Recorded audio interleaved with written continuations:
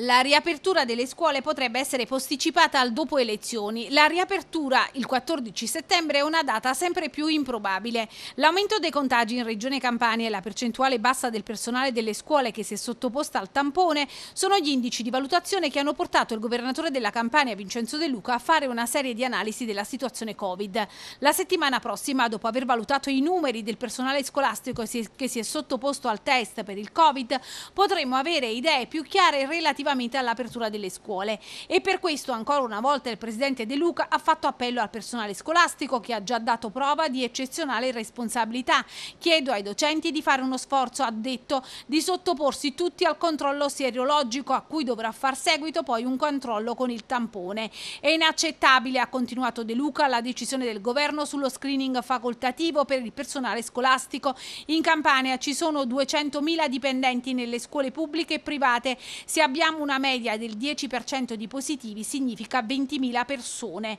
Parliamo di numeri importanti, quindi per dare sicurezza alle famiglie dobbiamo garantire che il personale sia stato controllato seriamente. Il mio messaggio è di serenità ai nostri concittadini. Stiamo facendo di tutto per andare a cercare noi i positivi e dobbiamo farlo oggi nell'ambito di un piano per la sicurezza e la prevenzione che prevede anche altre cose. Prevede la possibilità per fare in Campania fino a 10.000 tamponi al giorno. Abbiamo potenziato i laboratori che devono lavorare i tamponi. Credo che faremo assunzioni straordinarie nelle prossime ore per potenziare i dipartimenti di prevenzione sui territori. Voglio fare appello a chi viene dall'estero a non andare presso gli ospedali a fare i tamponi, ma a rivolgersi all'AS. Ovviamente dobbiamo individuare poi i singoli focolai, vi ho detto di questa azienda agricola nella piana del Sele, abbiamo spento un focolaio che si era determinato a Sant'Antonio Abate di eh, alcune decine di contagi nell'ambito di una eh, struttura turistica sonrisa e così via questo è il lavoro che è pienamente in corso e dobbiamo stringere i denti per i prossimi 10-15 giorni, perché avremo in questo periodo l'ondata maggiore di arrivi dall'estero e quindi di contagi da individuare. Allora, tranquillità per tutti, serenità, ma anche consapevolezza che siamo entrati in una fase delicata che richiede il massimo di attenzione da parte di tutti. Io ne approfitto per chiedere appunto ad ogni nostro concittadino un'attenzione rinnovata. Indossiamo le mascherine sempre. Ovviamente in maniera obbligatoria quando si entra nei locali chiusi, quando vi sono assembramenti, ma indossiamola sempre.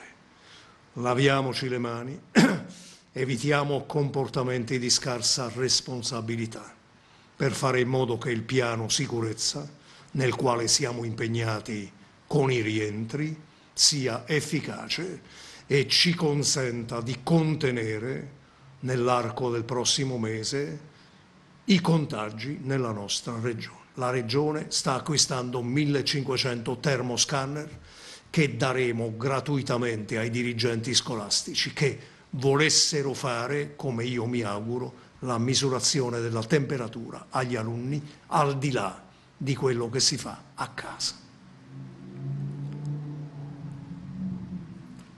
Terzo problema irrisolto, problema delle aule. Ad oggi noi non sappiamo se vi sono le aule sufficienti per garantire il distanziamento.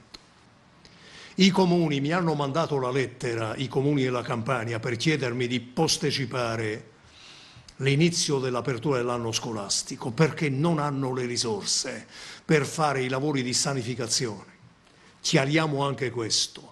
L'unico compito che ha la Regione in relazione all'anno scolastico è quello di fissare la data di apertura ma tutte le responsabilità di merito sono dei comuni, delle province e del Ministero della Pubblica Istruzione.